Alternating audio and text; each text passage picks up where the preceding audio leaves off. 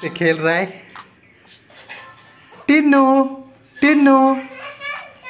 इसको टिन्नू आवाज़ देने के बाद बहुत हंसती है। और है अपना, है बड़ा पप्पू, जिसका नाम है श्रुति। क्या रुक रुक जरा। पप्पू, रुक जा। ये देखिए, कल अपना, अपने घर में गणपति जी का आगमन हुआ है।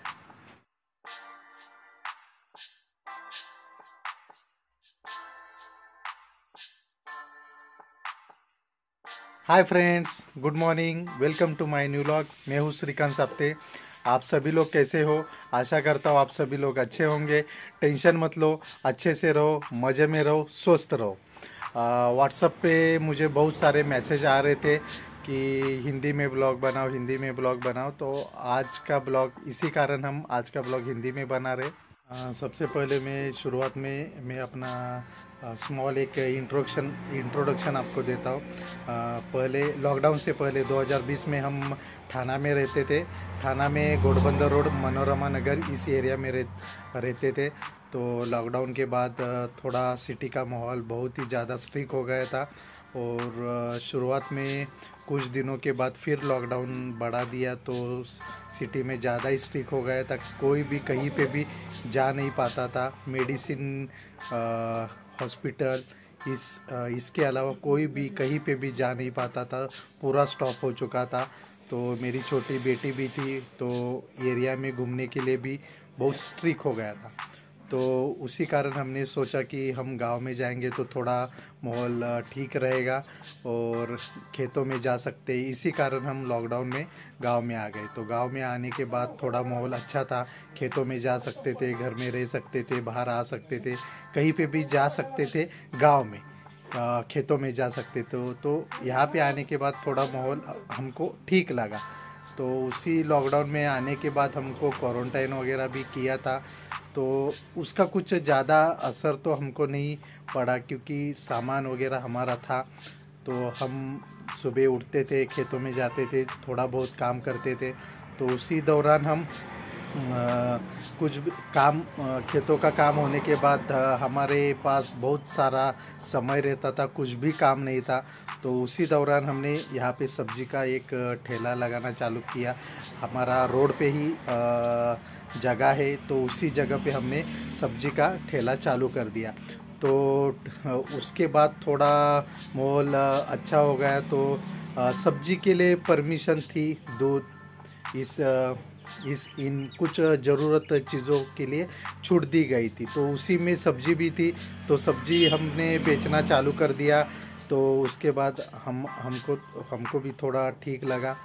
तो इसी कारण, इसी दौरान फिर लॉकडाउन जैसे ही कुछ समय के बाद लॉकडाउन ख़त्म होने के बाद फिर से बढ़ा दिया गया।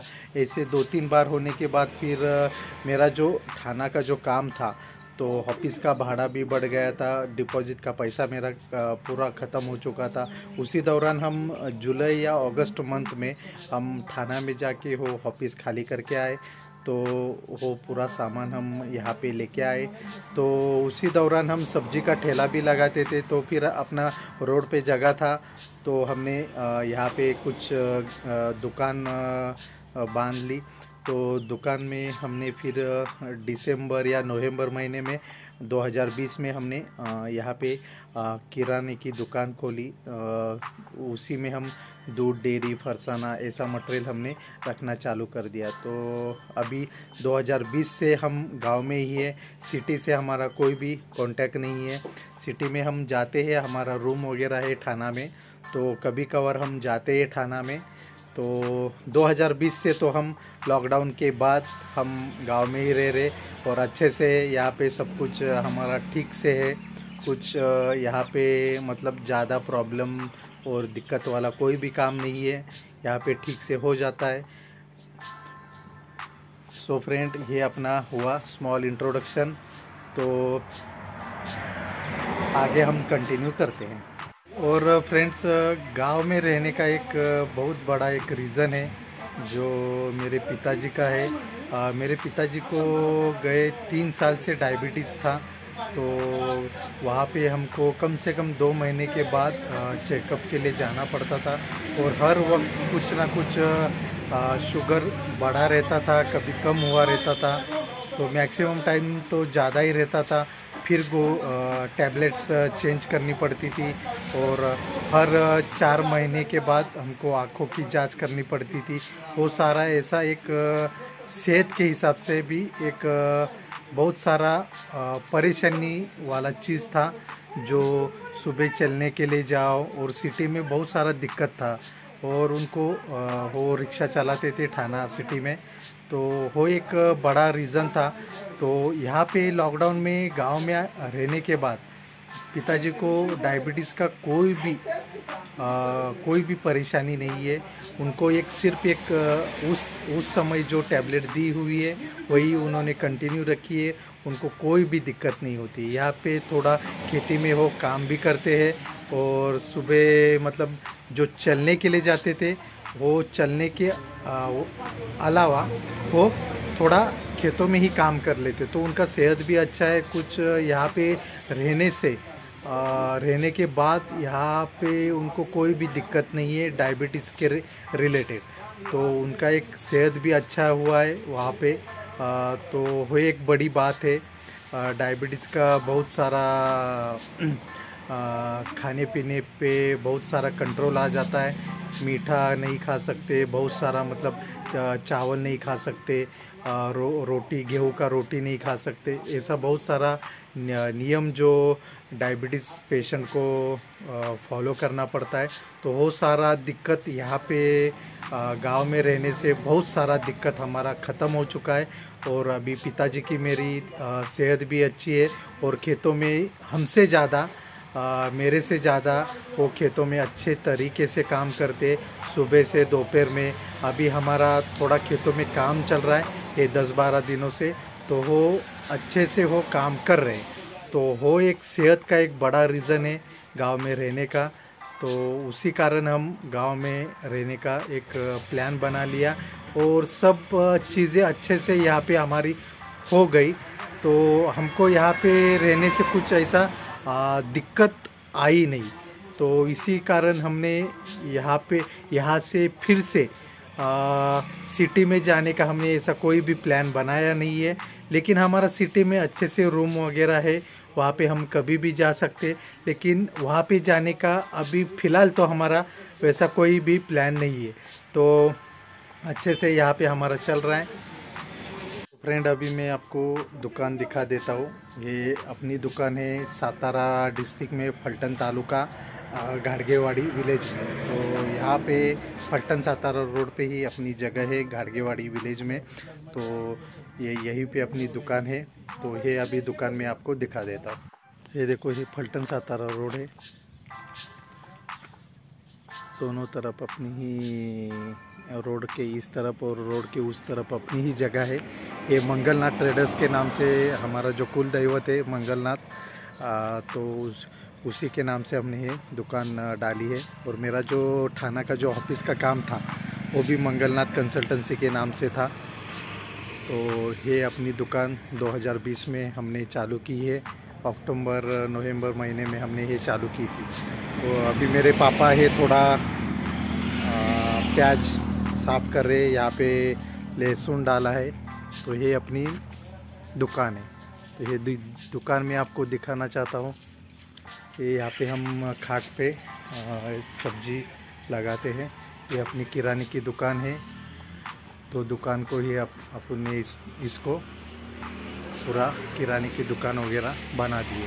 इसमें सब खारी खारी टोस बटर किराने की ही मटेरियल कुछ रहती है। किराने का ही मटेरियल हम रखते हैं। शुरुआत में हमने किराने से नहीं चालू किया था। डेयरी फरसाना बेकरी आइटम रखते थे। उसके बाद कुछ दिनों के बाद फिर हमने किराना का ही मटेरियल रखना चालू कर दिया। तो ऐसे ही थोड़ा थोड़ा करके हमने दुकान बढ़ा दी है। और बाजू में ही मेरे वाइफ को आ, आरती को यहाँ पे ब्यूटी पार्लर का शॉप ओपन करके दिया है। श्रुति मेरी बेटी का नाम है श्रुति। तो उसी के नाम से हमने यहाँ पे ब्यूटी पार्लर चालू कर दिया है। ये 2021 में जनवरी में चालू किया था। नॉवेल्टी का भी सामान रहता है और ब्यूटी पार्लर का भी। लेडीज़ का जो कुछ ब्यूटिशियन का कुछ रहता है, वो यहाँ पे किया जाता है। तो फ्रेंड ये हो गया अपना स्मॉल इंट्रोडक्शन तो अभी लॉकडाउन के समय से हम यहीं पे गाँव में ही है तो यहीं से अपना पूरा कामकाज चालू है खेतों का भी कामकाज अच्छे से हो रहा है यहाँ पे. और जो डेली रूटीन का जो धंधे के रिलेटेड जो रहता है अपना काम, पैसे के लिए, वो भी अपना काम यहीं से चालू है. और कंसल्टेंसी का भी मेरा काम ऑनलाइन ही चालू है यहाँ से. कंप्यूटर से मेरा होता है मोबाइल से कुछ काम होता है तो यही से मेरा काम चालू है. सो so फ्रेंड अभी अपना दुकान का इंट्रोडक्शन हुआ है तो कल ही हमारे यहाँ पे गणपति जी का आगमन हो, हुआ है। तो मैं आपको दिखाता हूँ। रुक रुक जरा। पप्पू, रुक जा। ये देखिए, कल अपना, अपने घर में गणपति जी का आगमन हुआ है। और ये अपना है पप्पू। पप्पू ये हमारा पप्पू है, इसका नाम है श्रुति। हाँ। हाँ हिंदी हिंदी में बात करने का, आज का ब्लॉग हिंदी में। और अपना, उससे छोटा एक पप्पू है, जिसको हम प्यार से टिन्नू बोलते हैं। इसका नाम है अनुश्री। अनुश्री नाम है इसका। से खेल रहा है। टिन्नू टिन्नू। इसको टिन्नू आवाज़ देने के बाद बहुत हंसती है। और है अपना, है बड़ा पप्पू, जिसका नाम है श्रुति। क्या मन क्या बोल रही है? बड़ा पप्पू। इसको हम ऐसे ही ब्लॉग में पप्पू पप्पू करके बोलते हैं। पापा ने इसका नाम रखा है पप्पू। हाँ। तो ये अपना हो गया घर का और मेरी माँ। ये है मेरी माँ। हिंदी में बात करने का।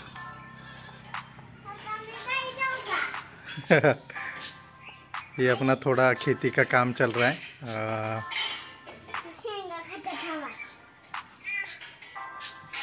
पप्पू वहीं पे जा रहा है अभी। उस तरफ़ अपना नारियल का पेड़ लगाया हुआ है। चार नारियल के पेड़ लगा है। नींबू का भी पेड़ है वहाँ पे। ऐसा यहाँ पे अभी थोड़ा खेती का काम चल रहा है। तो अभी हम जाते हैं दुकान में।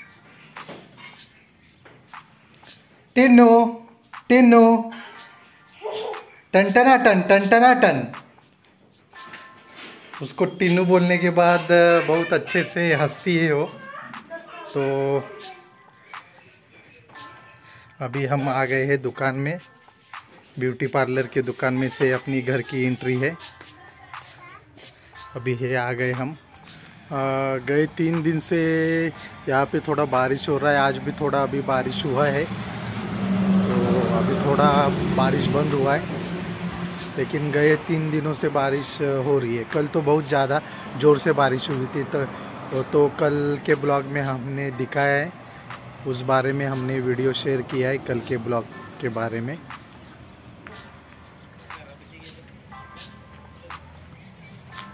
फ्रेंड, अभी शाम के सवा छः बजे और शाम को शूटिंग निकालने का थोड़ा दिक्कत होता है कि शूटिंग में थोड़ा ब्लर हो जाता है मतलब डॉट डॉट आता है तो शाम को कोई भी वीडियो निकाल में नहीं पाता हूँ। तो आज का ब्लॉग हम यहीं पे एंड कर रहे आज का ब्लॉग आपको पसंद आया होगा तो लाइक शेयर कर देना और चैनल पे नए हो तो चैनल को सब्सक्राइब कर देना। और न, हमारे नए वीडियो के नोटिफिकेशन के लिए बेल आइकॉन प्रेस कर देना। So friend bye friends